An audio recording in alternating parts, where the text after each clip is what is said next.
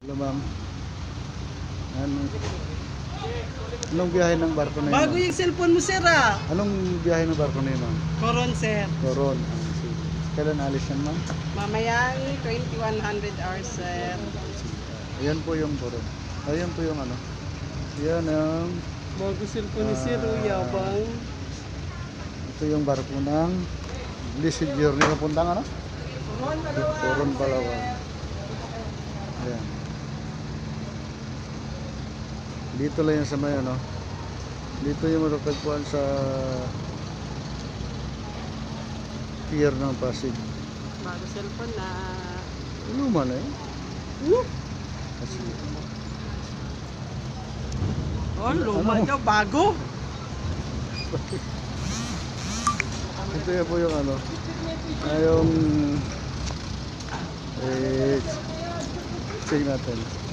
Dito po, dito po yung ano, yung barko papuntang Coron. So, Ano, gago. Ah, sir, kaibigan, ah, ito ba yun? ito ba yun?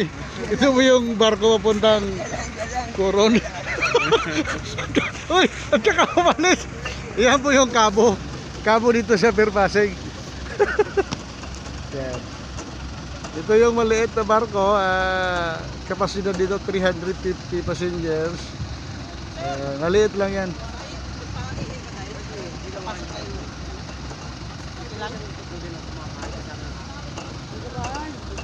Ito yung ano, ah, yung kabo dito pag porter, ito yung porter na gwapo. Ayan.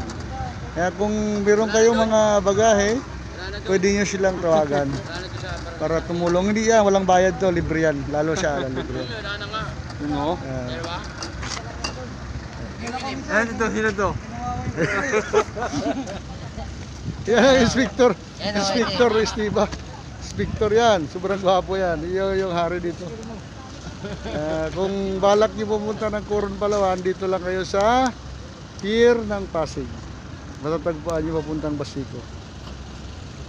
Ito. Ito yung MB Blessed Sea Journey.